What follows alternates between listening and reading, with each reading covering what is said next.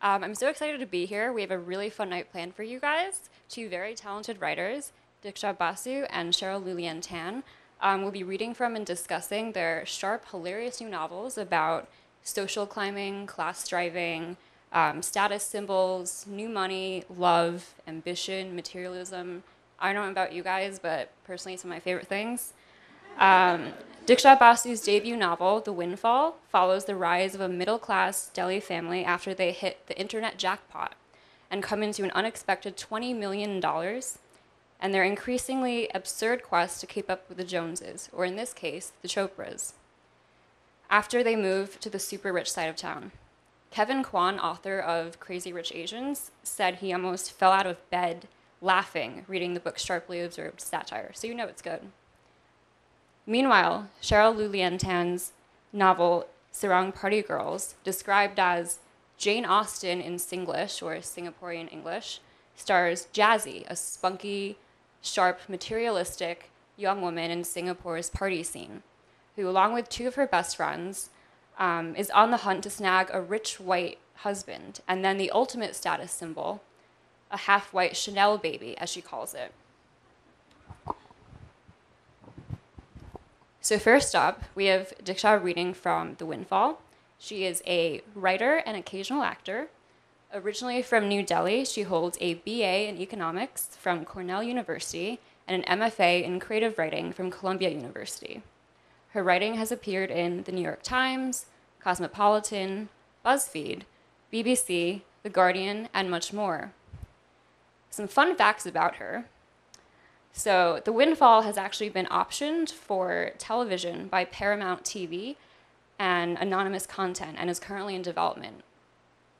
Um, she wants you to know that she got a little drunk and got her first tattoo last week. she also had a baby three months ago, so congratulations. Also in the tattoo. Um, now, please welcome Diksha Basu.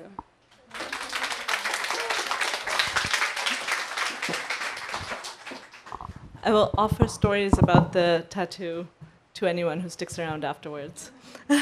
so I'm going to read a little bit from The Windfall. Um, don't follow along because I find I often edit as I read, which is horrifying to do in an actually published book because there's no going back at this point.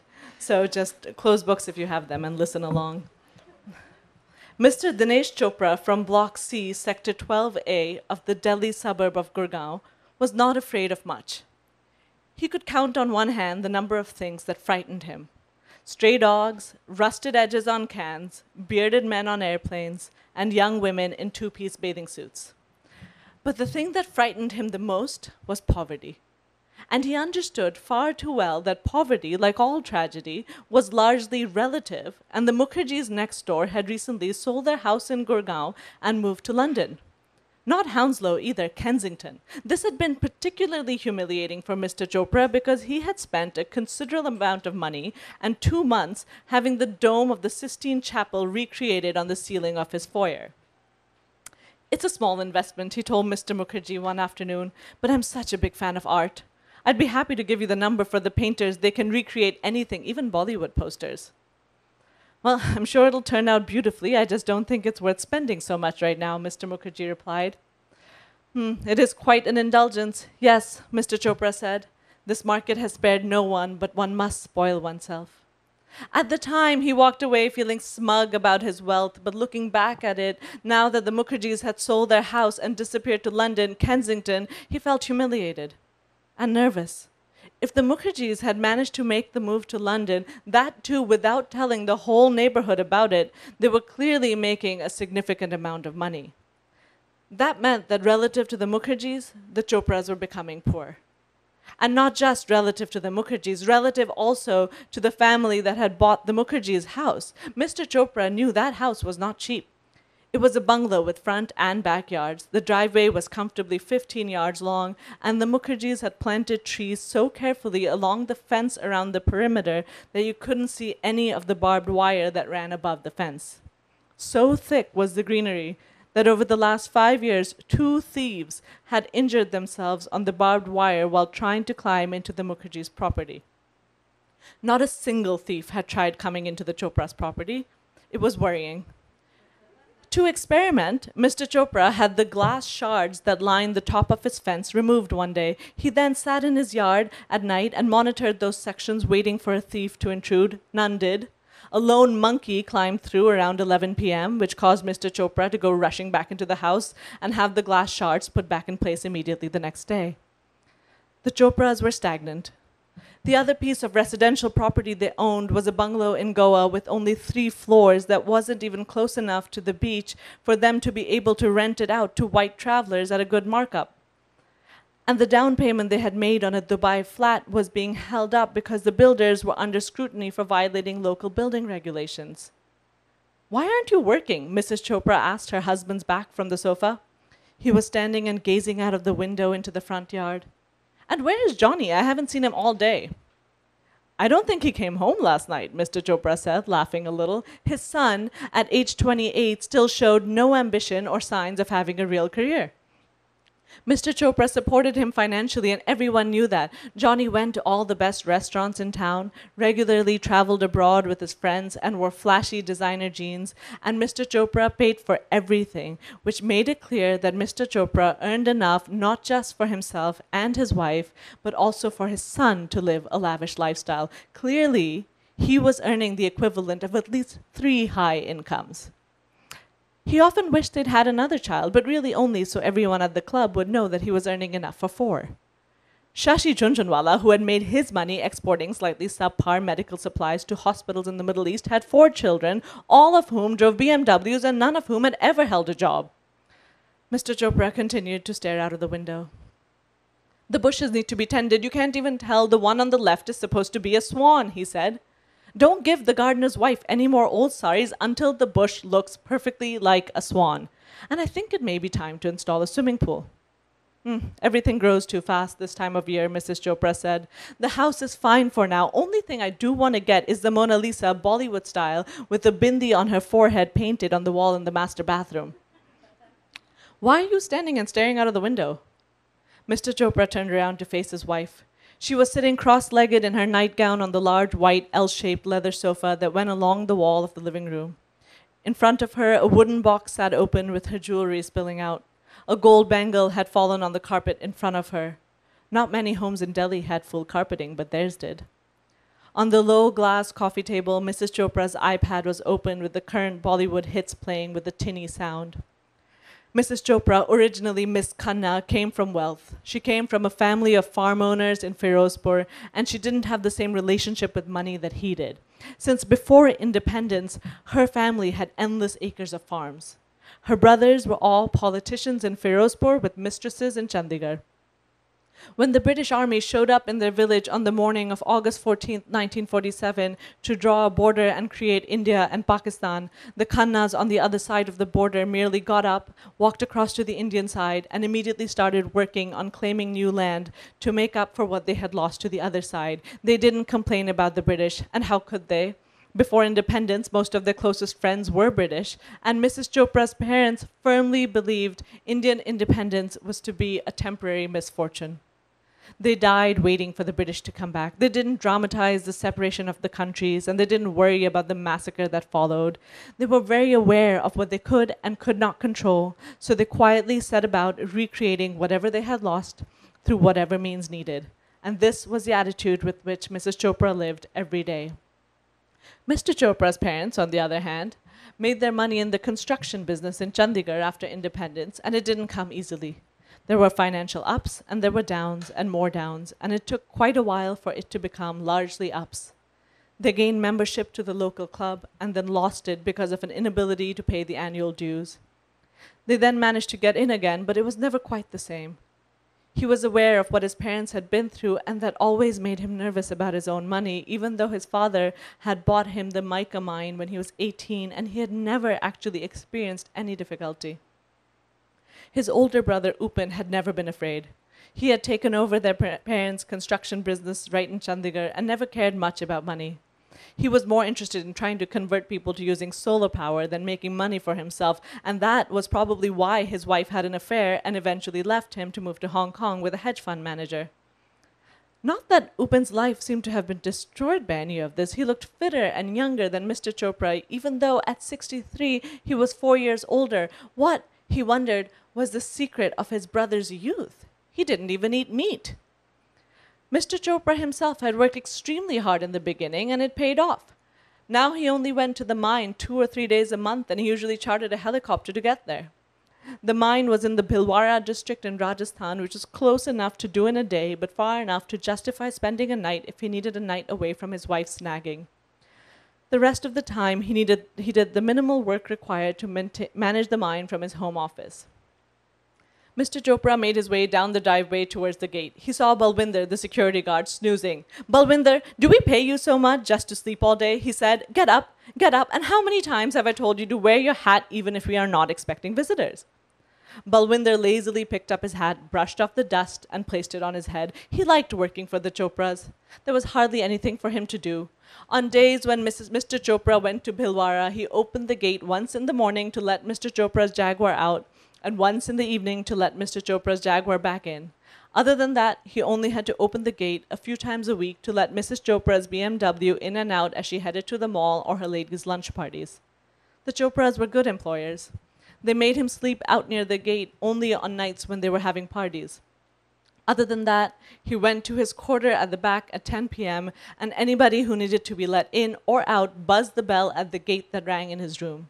The only one who went in or out after 10 p.m. was Johnny, and Johnny always had pretty young girls in flimsy clothing with him. Just last Sunday, Balwinder had seen Johnny and a girl stumble out of a taxi and down the driveway. About halfway there, Johnny had pushed the girl against the compound wall and slipped his hand down the front of her tight jeans.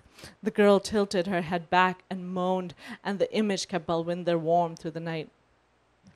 Mr. Chopra peered over the gate and saw Mrs. Jha step out of a taxi. Sir, would you like me to open the gate or call for the car? Balwinder said. Mr. Chopra ducked down and said through clenched teeth, Be quiet, you good for nothing. I'm trying to see the new neighbors. And put your hat on properly.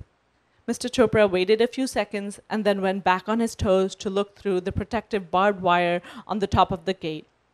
It was a regular black and yellow taxi, not air conditioned.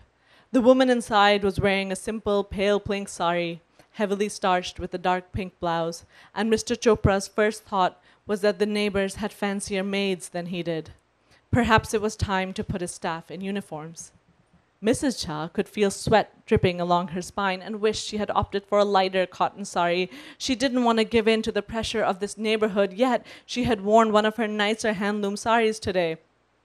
But the houses here was so spaced apart that it was unlikely that she would even encounter anyone. The only sign she had seen of people on this road was a passing blue Aston Martin with such darkly tinted windows there was no way of knowing if there was a dog driving the car.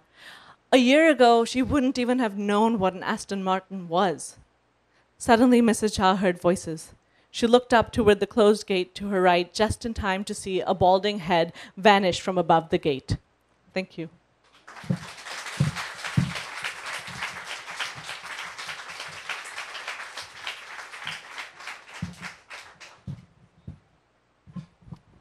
Let's give it up again for Diksha Basu and her hilarious book. Next up, we have uh, Cheryl Lu-Lien Tan. Um, she is a New York based journalist and author of the new novel, Sarong Party Girls, which was named one of Amazon's 10 best books of the month for July of 2016. A native of Singapore, she also wrote A Tiger in the Kitchen, a memoir of food and family, and was editor of the fiction anthology Singapore Noir. She was a staff writer at the Wall Street Journal, InStyle magazine, and the Baltimore Sun. Her stories have also appeared in the New York Times and the Paris Review, among other places. She has been the recipient of several grants from the National Arts Council of Singapore in support of her books. And her fun fact is that she is the only person she knows who doesn't know how to ride a bike. So don't you ever tell her it's just like riding a bicycle. Please welcome Cheryl Lu-Lien Tan.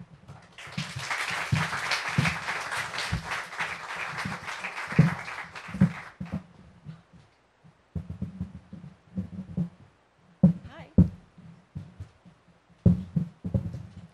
Um, thanks for coming. Can you hear me? Um, so a few things about this book. Um, sarong party girls is an actual term in Singapore that um, I was always I, I, was always very cognizant of when I was growing up. Um, it refers to a type of woman in Singapore um, whose main goal in life is to meet a white guy and date him and preferably marry him. Um, and when I was growing up, it was you know I was always very curious about these women. Like why would they choose people based on race um, or just some status symbol? Um, but I realized the more I thought about it, it sort of dated back to our colonial roots because uh, the story goes that the British soldiers used to have parties and they would invite uh, the local girls and they would be wearing sarongs, so sarong party girls. Um, but when I was growing up, it was actually a very bad term. You didn't want to be a sarong party girl. Um, but when I went back to Singapore to research Tiger, uh, and I reconnected with all my primary school friends, and they had done the traditional thing of getting married to good Singaporean boys, gotten divorced terribly in their 30s. Um, and then all of a sudden we're back on the market and they were like, you know what, we're SPGs now. Like, so it was sort of like this modern SPG uh, who's like rejecting the traditional stereotype and going, we've done the traditional Singaporean thing, it's patriarchal, we're gonna do our own thing. So um, one night when I was with one of my friends um, and she was dating this British guy um, and she said, well, you know, the main goal in life is to have, the main goal is to have a Chanel baby, right? I'm like, what's that? And she's like, you know, a half white, half Singaporean baby. It's the Chanel of babies. So when she said that, I was like, okay, well that says just that says a lot about Singapore materialism, culture, etc.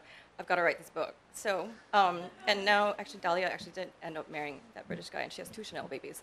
Um, um, I'm just going to read from the beginning of the book. Um, the protagonist, Jazzy, is 26, turning 27, and in a panic. Uh, the book is written in Singlish. Uh, which uh, is a mix of Chinese, Malay, English. Um, we say la a lot in Singapore. It's used for as an accent. Um, and um, a few things like ang mo means white. Um, and Singaporeans use the word cock in a different way than people here.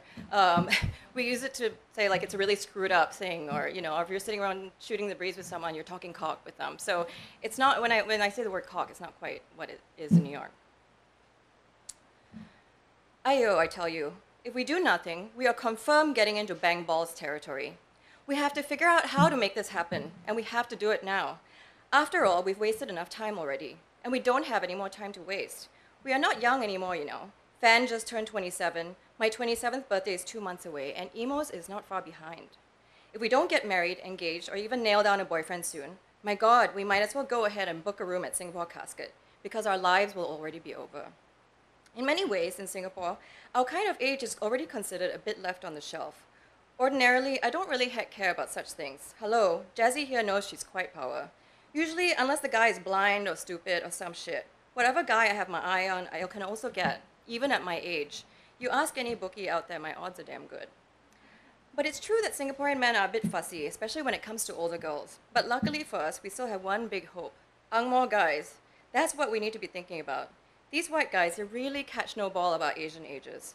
Us 20-something year old Asian girls, if you wear a tight, tight dress or short, short skirt, these angmos will still steam over you. Some of them even go for the really old ones. 30-year-old women also have chance. Even so, we cannot waste time. We must be serious, because once you manage to marry a white guy, then you are only one step away from the number one champion status symbol in Singapore, a half Angmo kid, the Chanel of babies. But how to get an Angmo husband? I used to think getting an Angmo husband was quite easy to do. I mean, hello, we girls are always out there, meeting Angmos, letting them buy drinks for us, dance, dance, rubber, rubber a bit. So surely one day we'll just naturally end up with an Angmo husband, right? At least that was the thinking law. Recently, though, I realized something that started making me nervous about achieving our goal. And it only hit me on that super cock night, the one where we lost Sher. I tell you, I cannot even talk about that night right now without vomiting blood. Sher is so pretty, so sweet, so thin, has such fair skin, she could have had any guy she wanted. After that night, I realized that yes, we've been quite focused over the years. If you count up all the guys in our group has dated since secondary school, most of them are Angmos. Not always good quality ones. Some of them, I have to admit, are the don't wear suits to work type. But still, in this small country, to be able to say that most of our boyfriends and flings have come from England or some shit is quite good lah. Most girls here end up with local boyfriends the whole time. What nonsense. I tell you, if a bus runs me over on the street tomorrow, Jazzy here will go up there with no regrets. Once we lost Sher, though, I realized that our Angmo husband strategy was not so good because we had no strategy. You ask Sun Tzu or Lee Kuan Yew, they confirm will say that every important thing also must have strategy. So, first things first, must call a meeting. After work, Wala Wala Bar at Holland Village. Of the four of us, there were only three left me, Fan, and Emo. Time to get serious. Once the girls sat down, I said, Listen, I've been thinking. We don't have much time. Look at us three. This is a happening Thursday night, and the best plans we have are going out with each other. No husband, no two carat diamond ring, not even a boyfriend. What kind of cock life is this? If we want to marry Angmo guys, we cannot go to SPG bars and just anyhow shoot arrow. No wonder we haven't win yet. We must have a method. Emo looked skeptical. If we just go to Chaplin's or Hard Rock, aren't we just doing it because it's fun? Fun your head, lah, I said. Like that, maybe for one night or a few nights, of course it will work. But if we want to get married, then we must be more strategy. So listen, I came up with this idea. It has four parts. Which is very Singaporean, by the way. Emo leaned forward. I could tell she was a little curious. Of all of us, she's the one who's most focused on getting married. Her father, ayo, my God. When we were in secondary school, we didn't see Emo's dad very much. Uncle was always traveling for work. Each week, he would disappear for a few nights, often over the weekend. So every time we were at her house, it was mostly just us hanging out with Auntie. Auntie never seemed to mind, though. Whenever Uncle came back from his travels, he always brought something nice. Sometimes got duty-free perfume lah. Other times, if he disappeared for longer trips, he would actually come back with a Prada handbag, that kind of thing. Uncle was so boring, we didn't think about him at all. He was like my dad, or Fan's dad, who we didn't really care about until he suddenly had a heart attack. But then, right after we graduated from JC, Uncle and Auntie sat Emo down after dinner and said, We have something to tell you. Emo said everything happened very quickly once Uncle started talking. Everything also just anyhow come out. Apparently, his job is not a traveling type of job. He works in a local insurance office. First, he said, Imogen, you know your mummy and I love you very much, right? Everything you want, we also give you. When Emo first heard this, at first she thought he was dying. At the time, Fan's dad had just passed away, so we were all quite scared, wondering which uncle is the next to go. So Emo just nodded and kept quiet. But then Uncle said, Now that you're old enough, almost a woman already, your mummy and I thought that you should know something. You have two brothers. At first, Emo was quite confused. She didn't know what he meant. But how could my mom have two other kids that I don't know about? Cannot be. She had me when she was so young, and then I don't remember her being pregnant anymore. Where got two sons? She was still thinking hard about all this when Uncle continued talking. I have another family, he said. Emo looked across the dinner table at her mom, who was looking a bit blank faced, except that her eyes were staring down.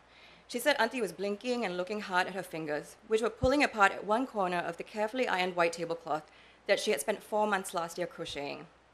This was the tablecloth that Auntie cared about so much that she even bought a special clear plastic cover for it for Chinese New Year. So when people brought curry or whatever over, her tablecloth will still be number one okay. So Emo knew that if her mom was actually chochoing with this tablecloth, then confirm this conversation is really serious. Uncle continued, When I met your mom, I already had one son, and then just around the time that you were born, I had my second son. They look a bit like you, actually. Imo is usually quite tutla. So at this point, when she told all of us about it, we thought the situation was quite clear. But Imo was actually still confused. So she asked her dad, But you had your mistress before mom? She still wasn't getting anything or understanding what was going on. When she told me, Sher, and Fan all this, my God, we all just wanted to reach over and slap her one time. Where got people so stupid?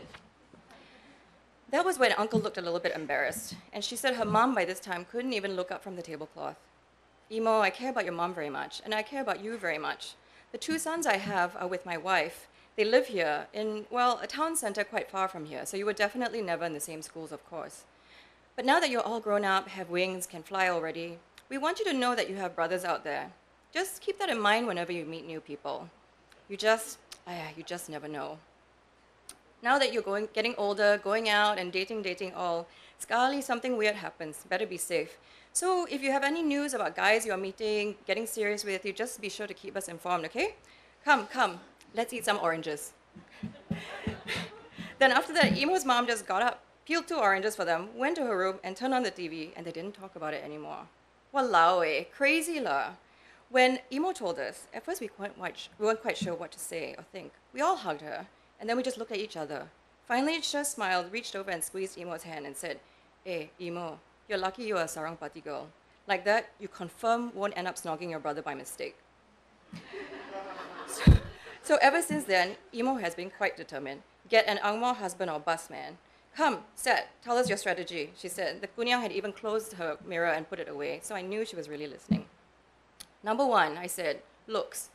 Obviously, we are quite chill.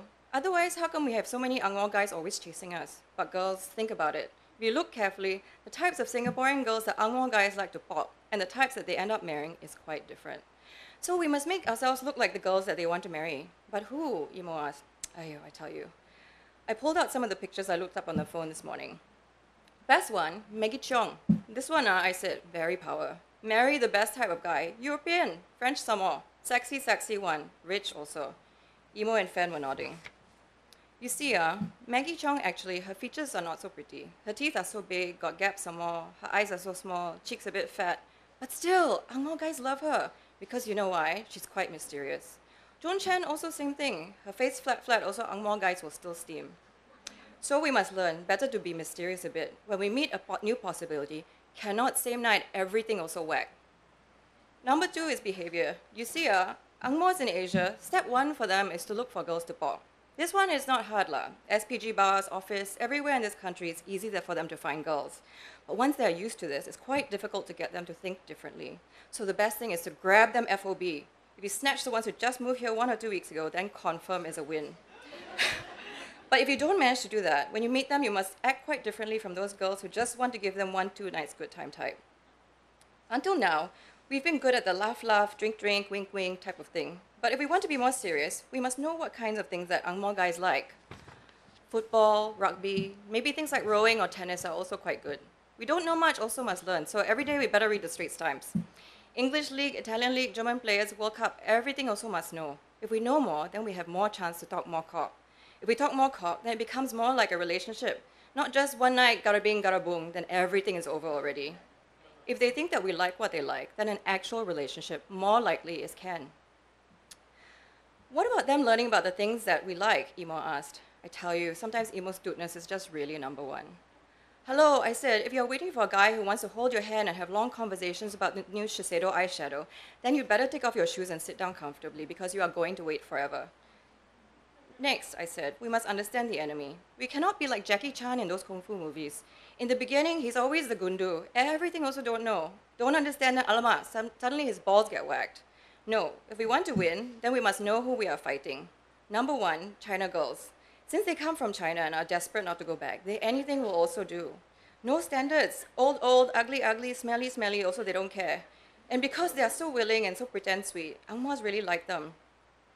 Next, Filipinas. This one is quite dangerous because they are very Angmo already. It's very easy for them to talk to Angmo guys. They have a lot in common. Some more, they sing really well. So if we see them in a karaoke lounge, I think we'd better just leave.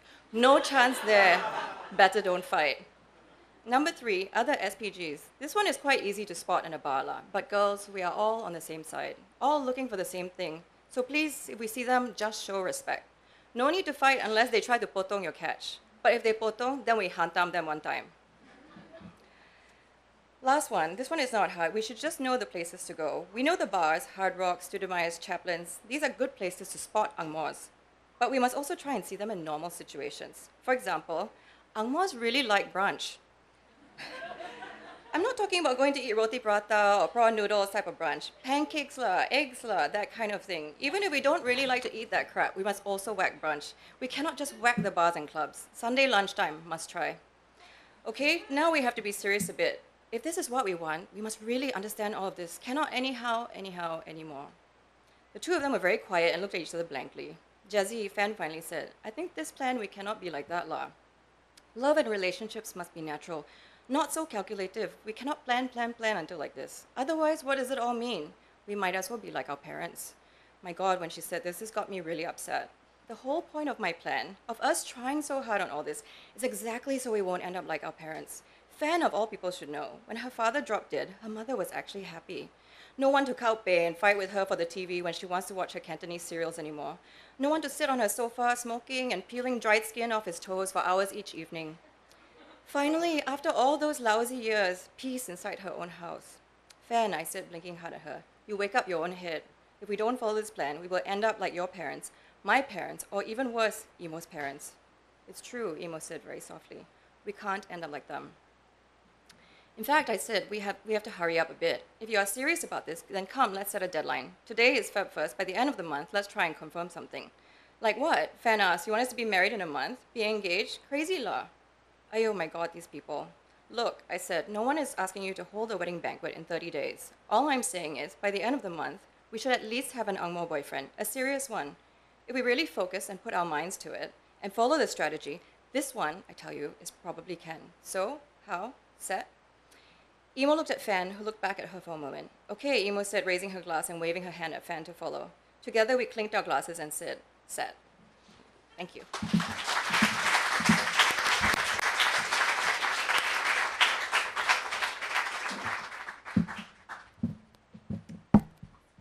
Let's give it up for Cheryl.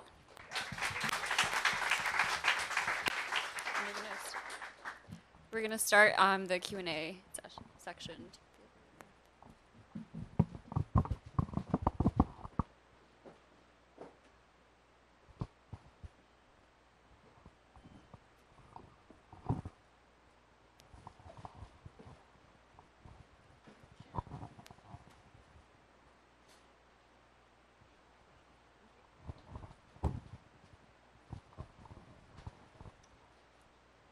So to start off, can you each talk a little bit more about your book for those in the audience who may not have read it?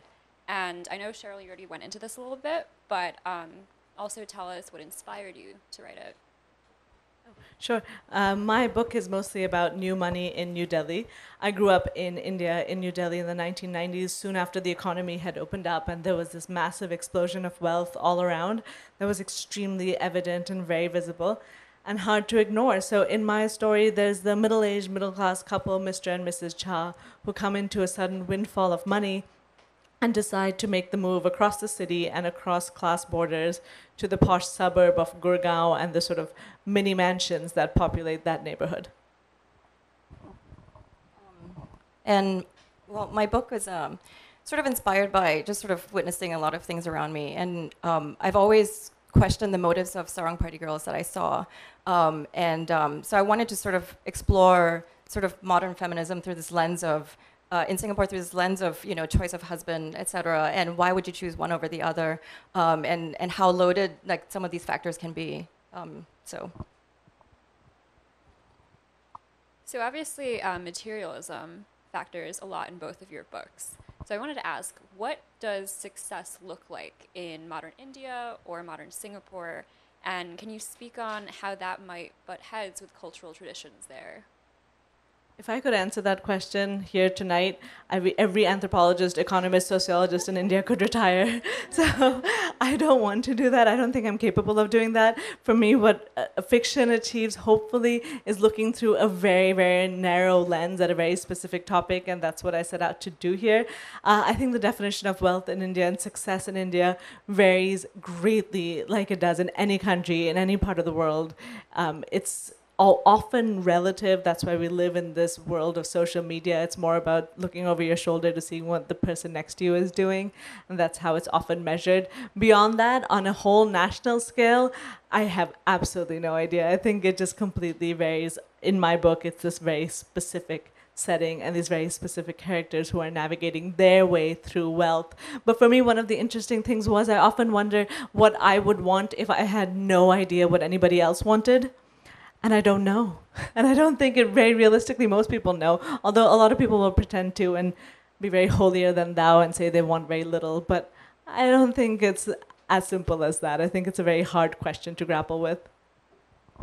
Um, well, Singapore is a very small country. You can pretty much drive from one end of the country to the other in an hour. Um, and but it's you know we our population is I think there's someone from the consulate here so I, um, I, I, think it's under six million. It's five point something right now. Um, and so you it's a very rich country. Um, it's always listed on one of these places uh, as one of the most expensive places to live in the world. Um, and there's so much wealth there. A few years ago there was a cocktail bar that has a twenty six thousand dollar cocktail. Uh, it comes with a diamond in it. Um, so be careful don't swallow it. Or yeah anyway, anyway let's not go there but um but um so you have a small country where you have immense wealth and you have middle class and you have you know people of all strata and they all tend to sort of collide with each other because it's such a small densely populated place um, which is what makes singapore very fascinating to me because you know when you have these people bumping and colliding to each other um, you know great stories happen. And um, i explore that a little bit because jazzy and her friends are not of that you know they're not at that level but they want to be. And so they're trying to figure out how they can get there what's the ticket to get there And I will say one of the things in India that is a mark of success is making enough money to move to Singapore.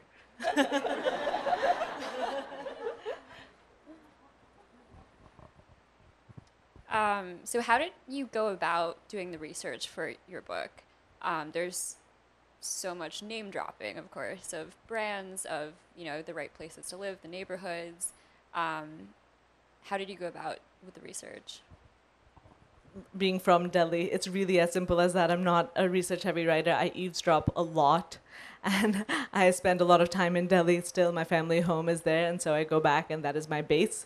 And really just obsessively observing people and being obsessed with conversations and dialogue and listening to what people next to me are saying.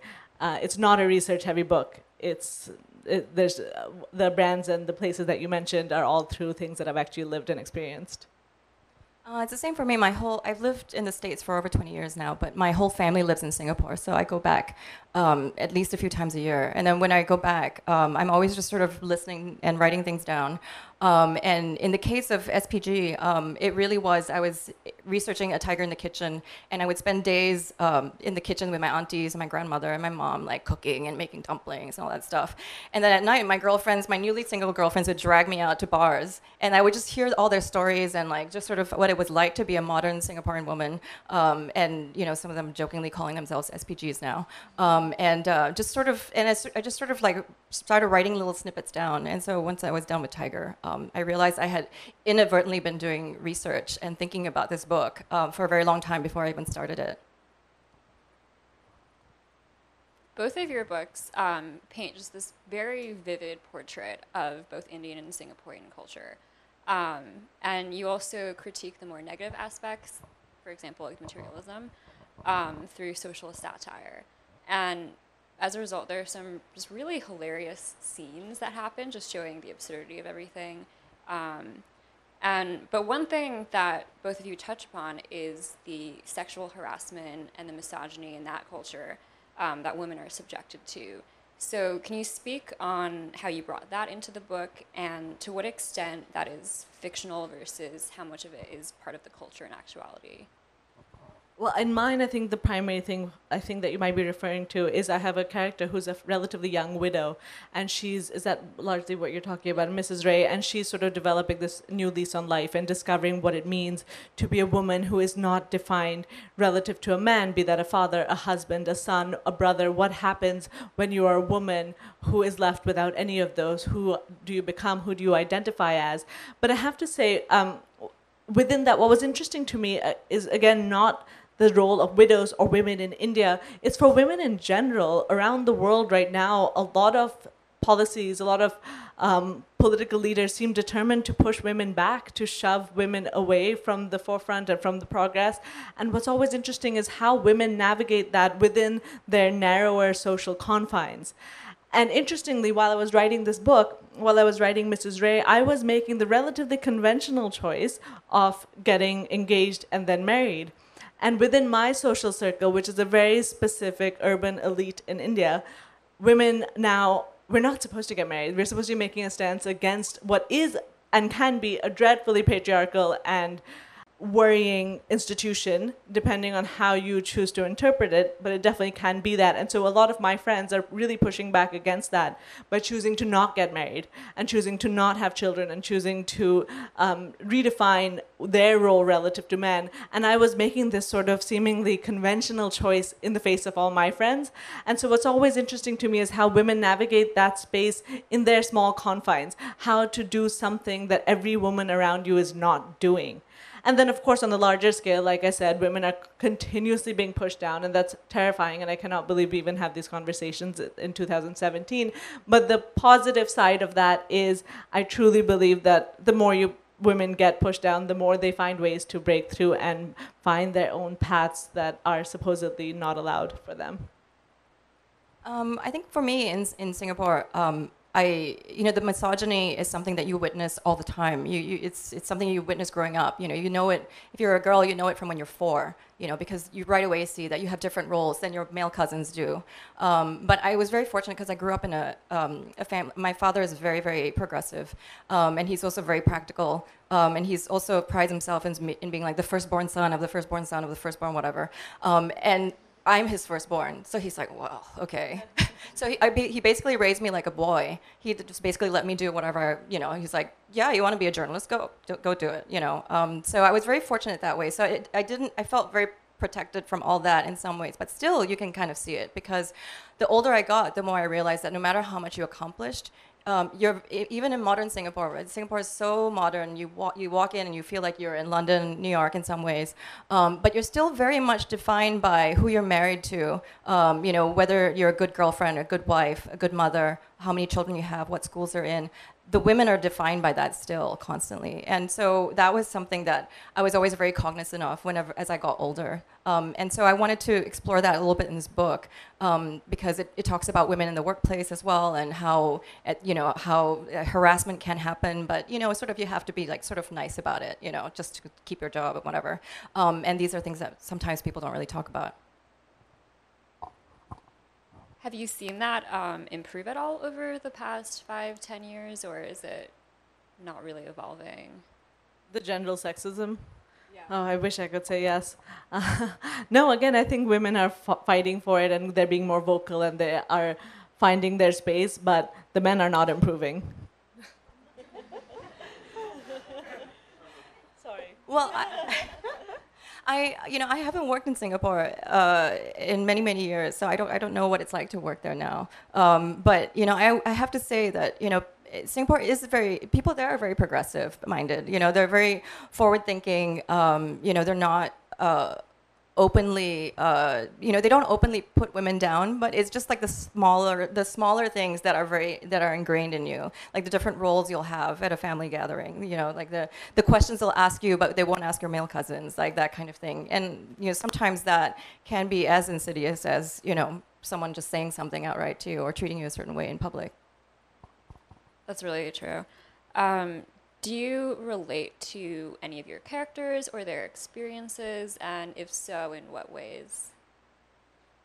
These are really broad questions. I'm so you're really making me think. I wish I had quicker answers. Cheryl, do you want to go first while I mull over this? Um, well, people keep asking me if they're based on my friends, and, and you know, there's some little snippets and stories here and there that are that I are, are things that I um, you know heard from my friends, um, and you know, but I, they're not really based on um, me, I think. A lot of them are my friends' stories. There, there is one scene in the book, and it's actually one of the more uh, like horrific scenes in a way, um, that that actually is based. On, it's something that I actually. It's a dinner that I went to, but I went as a professional, like as a journalist, like a food journalist, and uh, and there was this like I don't want to give it away because it's in the back of the book, but there was this like terrible man there who's like you know just grabbing every woman's ass, including mine. It's like I'm here as a journalist, but you know it's like it doesn't matter. You're a woman, um, and so that was like the one scene that was like I was like it was I, I wrote it exact. I remember the first draft of the book. I wrote it exact. I was so incensed by that dinner that it's really stuck with me. And when I wrote this book and I put the scene in, I wrote it exactly as it happened. Um, and I remember I, I showed it to my agent and she said um, she said it, it, it was like so dramatic. It was like this, it was like it was like the guy was just so unreal. I'm like, but it's real. And I still remember she uh, she said um, you know uh, just because it's real doesn't make it good fiction or something like that. and uh, so we toned it down a little bit. So you know if you read the book and you get to that part, it's actually actually like much worse than it was in the book. I still haven't found an answer except that my main character is a 52 year old man. So I don't know how much I do relate to him, hopefully not too much, but worryingly, I do have many parallels to his insecurity. No, I don't actually. But I, part of what I wanted to do with this book was explore writing what I don't know. And so, yes, of course, I know the setting, I know these people, they are not my lived experiences. What do you hope readers most take away from your book, and who is your intended audience? So when I was first writing, my intended audience was my loved ones. I did not think at all that this book about this specific segment of India would be widely as widely received as it has been. So I was writing for my parents, my husband, my brother, people who know the same world that I do. Um, that being said, I'm really thrilled that the global readership has evolved to a point where it is being received the way it's being received. That is so thrilling for me. Um, as far as what people take away from it, I always find there's no way to answer this without sounding so delightfully pompous and arrogant. So please, please permit me that for a minute. What I do feel I want people to take away from it, I feel these days we're being taught to really be afraid of the outsider and the unknown and to retreat back away into our own corners, however we choose to define them, be they by race, religion, gender, caste, class, whatever you want to define it by. We're being told to sort of really self segregate ourselves and be afraid of one another. And that's so sad and that's so frightening and the f- unknown ultimately all of our insecurities all of our basic humanity goes so far beyond borders. Borders are so arbitrary. Nation state borders are drawn so arbitrarily and we're given th- those definitions by the coincidence of our birth. And i hope ultimately people see that the unknown and the foreign is possibly funnier rather than frightening. And there's really just a lot more that binds us than that pushes us away. But like i said that sounds very arrogant um, I remember this really great line in your book. I'm paraphrasing here, but something about um, like why is it that when foreigners come to our country, they're called expats, but when we go to theirs, we're called immigrants. Yeah, and I really, I, I, I don't know. Um, I, I don't have an answer to that. That's something I really do genuinely wonder about why, and because the baggage that comes with both those terms, mm. it's so weighted and it's so obvious and it's so arbitrary because most of the Indians, at least that I know now, my group who are living in America, are not did not come under the traditional definition of the idea of immigrant. At the same time, my husband, who is a white New Zealander, is a music producer in Bollywood, so he's also not on one of those expat banking packages. So all the lines are so blurred, yet we stick to these words based solely on skin color, and I just don't understand it. Well, um, for me, um, well, I agree with everything you said. um, for me, I, I've started I've been writing about Singapore for all these years, first as a journalist in essays, etc., and then now in books. Um, mainly because when I moved to the States over 20 years ago, um, and when I tried to explain Singapore to people, they would always name two things. They would always talk about caning, or they would talk about like chewing gum. Um, and so I'm like, well, you know, Singapore is much more than that. And so on my books and in all my stories, I try to show the Singapore that I know, which is very nuanced. Um, you know, telling the female story is very important to me, um, and also just you know sharing like you know little snippets snippets of the bits of Singapore that I do love, like the old neighborhoods, or just the feeling of like sitting in a kopitiam, like a co- coffee shop in an old neighborhood, and like you know propping your leg up in one chair and like you know having a coffee on a Saturday morning, that kind of thing. So, um, you know, it's basically yeah. In Singlish, um, I wrote this book in Singlish main, partly mainly because Jazzy would be speaking in Singlish with her friends. So it felt like it would be wrong or, or fake if, um, if she was speaking proper Queen's English or, um, or standard English. Um, and, but I also love Singlish a lot. Um, and when I, you know, my friends call or when I go home, you know, I slip right back into it.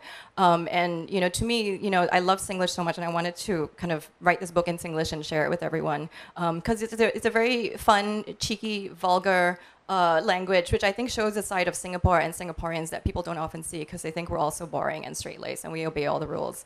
I mean, we do do that. Um, you know, we don't break any rules at all. But um, but um, you know, but yeah, but we're also you know all these other things as well. So Cheryl, you mentioned that some of your friends um, or people have asked whether any characters are based on your friends. Have any of your friends read the book and said, "Hey, that sounds like me"? Um, it's funny. My friends, some of my friends that have some of the stories in here, they have read the book, but they never said they never said that. So I must have taken like a, that little kernel of something and blown it up so much that they didn't recognize themselves in it, which I, which I think is very good. What about you, Diksha? Has anyone said, um, you know, this reminds me of something that happened? I haven't gone back to India since the book came out two weeks ago. no, but uh, one thing I did do, some of the names in the book only the names are names of actual neighbors I've had along the way in India. Um, that nothing is based on these characters. I, I, know this is being live streamed. I don't want to be sued by tomorrow morning. Nothing beyond the names matches. And I was, as I was writing it, sort of once it was almost done, I emailed my agent panicking, saying, I think I might have to change a few of the names because they will be identifiable. And no matter how much I tell them that I swear it has nothing to do with them, if they find out that the girl who at the time was 10 years old living across the hallway from them has suddenly written a book that just coincidentally has their name featuring prominently, that's a good way to lose friends. Well, I think we're going to open it up to questions from the audience if anyone has questions. There's a hand at the back. There's a hand showing. It's a question for each of you. Are you planning to write about Asian Americans? If so, why? If not, why not?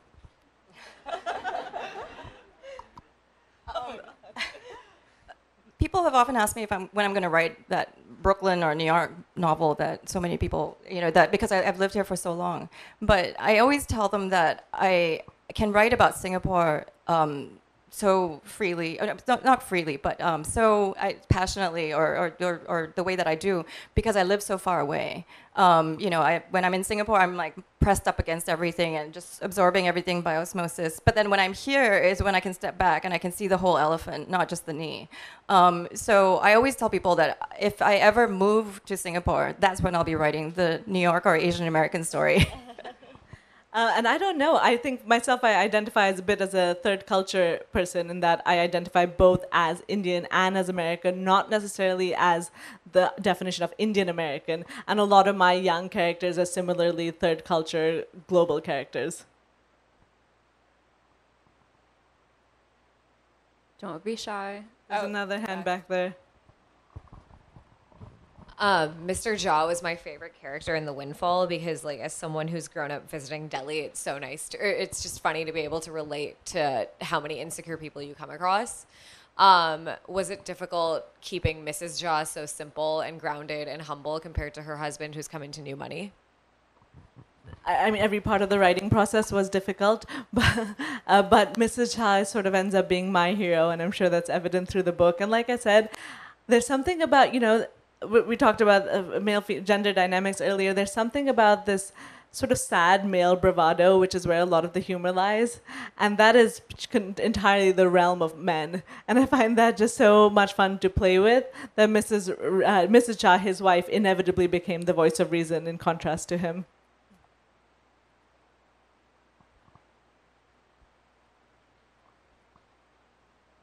The, the microphone's coming to you behind you. Well, I, ha- I haven't read your book, but it sounds like um, it's similar in the sense that both of you are, are mocking and criticizing uh, your cultures. And I wonder if you've gotten any pushback on that account. I'm going to wait for you to ask me that again after you read it because I don't think a single part of me is mocking or um, degrading any part of not just my culture but even new money because I really do feel such a great fondness for all my characters. And that seems to be, fortunately, what all the Indian critics so far have also picked up on. So I have not received any pushback, but that's an interesting question. If, and I would hope that that is not the vibe that this panel is giving. And if it is, I would really like to hear back from you after you no, read no, the book. No, I don't. Perhaps mocking was the um, wrong word, but they're satirical books, right? I, I, I don't even know if I would use that word. On the no, I know, I agree that it is, but I don't even know if I, if I would necessarily use that term. But um, for me, it was quite uh, quite believable. But I'm happy to have someone else step in and answer that, or Cheryl take it. Well, maybe I'll just address it to Cheryl because I've read her book, and and you do that. Your book is critical in some respects. It's also very loving, but it's critical in some respects of Singaporean uh, paternalism, for example. And I just wonder, have you uh, received any pushback on that? Um, well, you know, it's not. Um, you know, the, the book isn't a, a harsh. Uh, it's harsh in some ways. On, on I think uh, uh, the men in the book. Uh, you know, someone said, "God, you know, they all sound awful." Um, but um, but um, but it's not really a critique of the country and and culture in general, so to speak. Just sort of certain pockets. Um, but but in some. But when the book came out there were some people who were like, why, why? Well, the first big critic was my dad, um, because he read it, and you know, my dad was, you know, one of those like his, his was the generation that they spoke English, and so we always spoke proper English at home. So when he read this, he like summoned me to lunch the next day, and he was like, "Who taught you to speak like this?" And like, and so the Singlish was actually something that some people liked, but some people were like, "Why are you showing this side of Singapore that we don't, you know, we don't, you know, it's it's like a this guttural English kind of thing." Um, you know, because the Singapore government has had this Speak Good English campaign that they spend millions of dollars on, um, and uh, so they they want Singaporeans to speak proper English, um, which you know I, I I recognize that, and you know this book is not saying Singaporeans shouldn't speak proper English. Um, so there was that. There was a Singlish part of it, and then there was also just writing about SPGs in general because you know there was um when I when the book came out last year, I was interviewed by the Straits Times, um, and uh, the reporter sat me down, and he was this young man, uh, and I could tell he didn't like the book very much. And uh, his first one of his first questions was, "What made you decide to write about uh, a woman who's such a bad example for Singaporeans?" and I was like, "Well, aren't those like the best characters to write about because they're flawed and they're interesting to explore, and hopefully they go on some journey and they do learn something and change." um, but that didn't fly so well.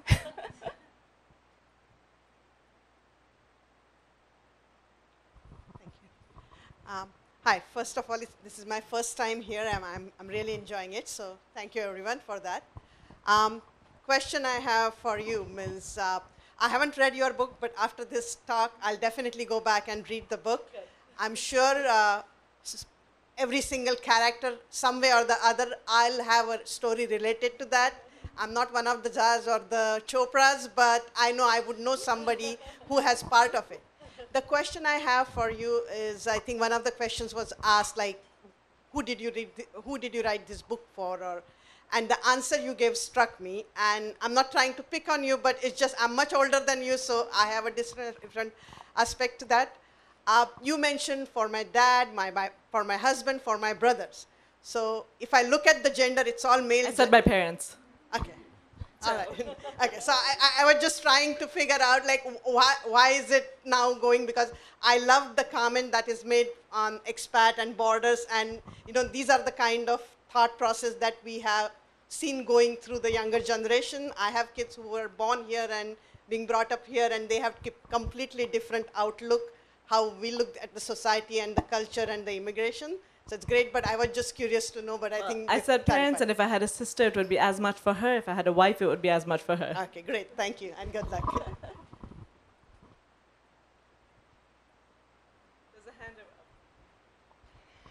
Ah, this is a question for Cheryl as a fellow Singaporean. Um, also I'm familiar with now. yeah, hi, yeah. Uh, I'm familiar with Kevin Kwan's uh, Crazy Rich Asians. So my question is, when is your book going to be a movie? Um, there's some things happening, but we're not talking about it just yet. Um, so, but, um, but you know, I feel like you know, Hollywood, you never quite know when anything is going to happen. Um, but you know, uh, when I can say something, I'll post it on Facebook, on Twitter.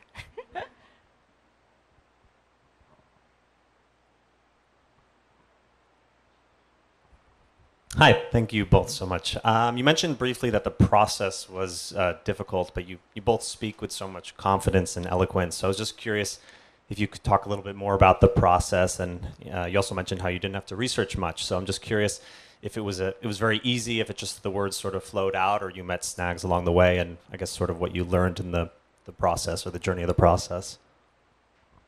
Yeah, uh, yes, it was not easy. Um, I always put my agent on the spot for this, and he's sitting right here. So afterwards, if you want to ask him more cross questions, he's in the third row.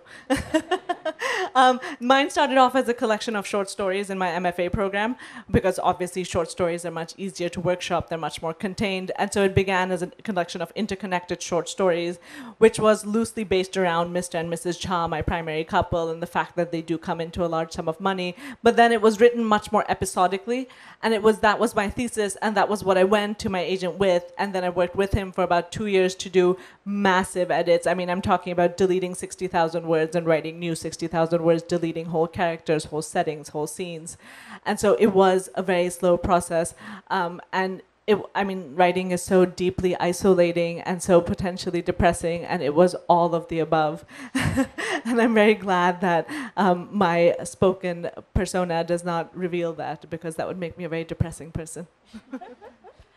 Um, this book was uh, both a joy and a pain to write because um, pain because writing sometimes just feels like oh my god is it ever going to happen? Um, are the words actually going to come out? I have these thoughts in my head. Um, but when I did, when they were actually going, I, I, always, I always, I have several writer friends and some of them are like a thousand words a day or two thousand words a day or whatever. Um, and I've never really, I've tried to do that sometimes. I'm trying to do that now, but um, but I've never quite been that person. I always sort of liken my writing process to having to go to the bathroom. It's like you, you have to wait until you really have to pee, then you go. Um, and then, so for me, it's a lot of sort of sitting around and thinking and having things percolate. Um, and then all of a sudden, it's like, okay, it's time, let's go. And then, like, you know, I cancel all my plans for like a week and I lock myself in a room. And then, you know, like the last, um, the first draft of this book, and obviously we went through several, a few, several revisions, but uh, the last 30,000 words I wrote in this like fevered like three weeks, um, which i I, I wish I could like write at that pace all the time because I would be writing a book every three months. Um, but um, but yeah, no. So it's it's for me that it was when you're in the zone, like that's when it's really joyous. It's like you know, and for me, writing in English was a lot of fun too. Um, you know, because I, I felt like it was just all coming out. I felt like at some points I was just sort of like channeling, like Jazzy was in my head and like sitting there and she's going like, type faster la, you, you know, and I'm just trying to like move as fast as I can. Um, so um, so yeah, when that when that happened was joyous. But when I'm kind of sitting around waiting for lightning to strike, it, it wasn't so joyous.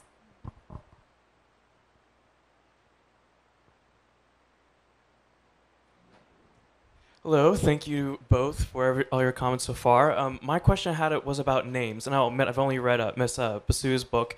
I'm gonna read both uh, now, but um, I noticed in the book, without giving anything away, there's a moment that uh, struck me where one character assumes that another uh, character who is Indian is white based on their name, and is really surprised uh, when they meet them. They're like, "Oh my gosh, like she's an Indian woman, but just with a really weird name." And I know um, also in, uh, from my uh, uh, Asian friends, my Chinese friends, and uh, whatnot. Uh, they um, have told me about how when they were younger, they would get their American names and they would sometimes use them when they come over here. And I don't know if that was something that was uh, thought about when writing your books, if there was a very conscious choice to give some uh, characters names to show sort of link to know, Americanism or uh, whiteness or something about that. If that makes sense. Most of my names actually quite just traditionally Indian. Uh, I will just call you out, Jack, right there. The young man who just asked the question is one of my former students and one of the most talented writers I've come across. And so you will be seeing his work in the near future, I hope. Um, that being said, no, my names were all quite rooted in India and just sort of average Indian names. I didn't play around too much, other than the one instance you mentioned with any kind of racial ambiguity. It came up for me a lot more recently while naming my, my Chanel baby daughter. Um, in Singapore, a lot of uh, a lot of uh, Singaporeans, regardless of race, uh, tend to have uh, Christian names or Anglo names. Um, uh, not all, but a lot do. So even my Indian and Malay friends, like my, my mentioned my friend Dahlia before, she's Malay. Um, you know, and and and you know, I, my my best Indian Singaporean friends are Joanne and Annabelle. Um, you know, and it's so we grew up with that. But um, in the case of this book, so in in in SPG, a lot of people have Anglo names, but not all. Um, but in the case of Jazzy, um, Jazzy is actually um, of a family that's very, very traditional and wouldn't, wouldn't have given her an Anglo name. And so she names herself. And so that's part of, that's part of uh, pinning down her identity as well, because she decides to create herself by creating, giving herself a name. And she calls herself Jazzalyn because she's like, you know, she's like, nobody else in Singapore has this name. I'm special. And she like makes it up herself. So, um, so there, there is some of that. So in that, in that, in that way, like, her name itself was important in sort of crafting her own identity, both for herself and also in the narrative.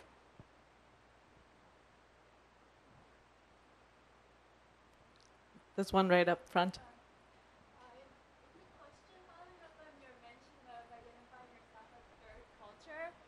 And I basically want you to elaborate more on that because, um, like, in discipline-wise, it gets bifurcated into Asian American literature and Asian literature. And personally, in my experience, my reading experience has been bifurcated as well. I don't identify with Korean American literature. I often am very critical of how they represent the home country's culture. Yet, when I read Korean literature, I find myself having kind of this anthropological distance to the representation of my own country. Um, Well, I guess one way, one way to answer that is I was, curious if you have a community of literary influences, authors who you think inhabit that third culture position. Is there a community of such authors? Well, the most recent one, of course, who I think has been here is Karan Mahajan, whose book came out last year, The Association of Small Bombs. Um, but I, I, I think that's a really good question that you ask, and that's something that I definitely struggle to navigate because I think you said it perfectly. Uh, I hope you're writing because I said I think you are exactly what you said is what I would have said back, which is that you don't necessarily identify as Asian American, which I don't, and I also don't identify as fully Indian. I don't identify as fully American, yet I have the luxury of sort of identifying as all of them, and I don't see that as a burden at all. I see that as a privilege, and I think going forward that community is forming, and I hope it is, and I seem to it seems to be forming. Uh, the Jaipur Literature Festival that happens in India every January sort of seems to bring together uh, more and more people like this. Uh, but I think we are moving as readers and writers past the immigrant novel, past the diaspora novel, and we're moving into a space where there are more and more voices like mine or like Karan's. I agree. Um, I was thinking about that too when I read um, Exit West recently, which is my favorite book of this year. Um, and it, I just like how these stories have moved beyond sort of what the narrative was even five, ten years ago. Um, and I mean, for me personally, uh, you know, I actually um, I'm not American. I'm still Singaporean. Um, and I, even though I've lived here more years than I lived in Singapore, and I, the longer I live here, um, the more Singaporean I feel. Um, so I actually don't know if I'll ever get around to writing that Asian American novel because I don't, I, you know, I, I, I live here. I'm Asian and I'm sort of Americanized. But the longer I'm here, the more Singaporean I feel. I think we have time for one more question.